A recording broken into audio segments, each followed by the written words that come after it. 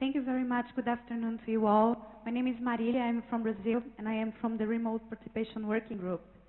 This group was created in the beginning of this year by individuals from several countries with a common concern to enhance remote participation in the IGF. In the last open consultations with a public proposal for remote participation, which consisted in the creation of IGF hubs.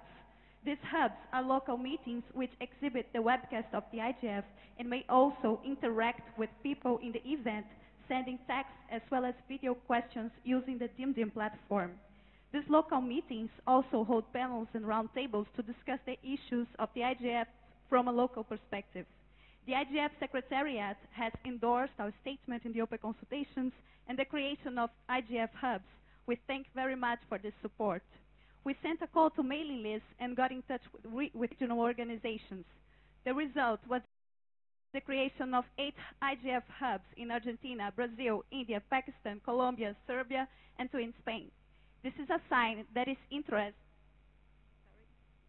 that is interest for remote participation. We only have to open channels and publicize them. These hubs have been interacting with the main sessions and the workshops during the last few days and have provided good feedback about their experience. We have also have had feedback from individuals in blogs dedicated to the IGF and in Twitter. Dave Dorban from Australia says in Twitter, the best streaming conference of, uh, of a conference ever. Participants of the Belgrade Hub used it as a starting point to create a local committee to discuss ICT-related issues. We had some technical problems in audio and video in some sessions, but overall experience was smooth and problem-free. The remote participation working group, together with the DimDim team, is collecting numbers, numbers and opinions, and we will organize an evaluation about the remote participation in the IGF. We hope it can be published in the IGF homepage.